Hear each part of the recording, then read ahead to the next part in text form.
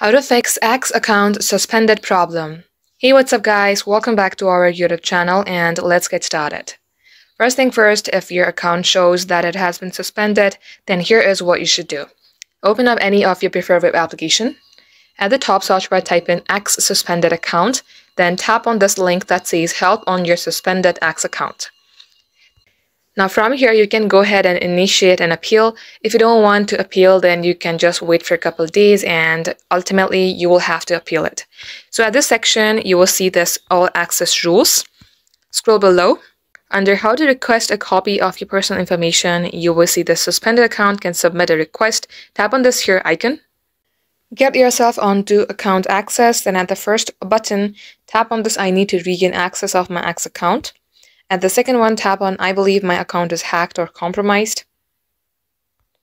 Under Are you able to log into your X account? Tap on No.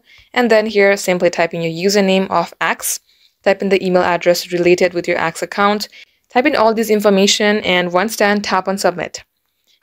Then wait for a couple days until X contacts you back and then this is how you can unsuspend your account. That is all for today. Thank you for watching.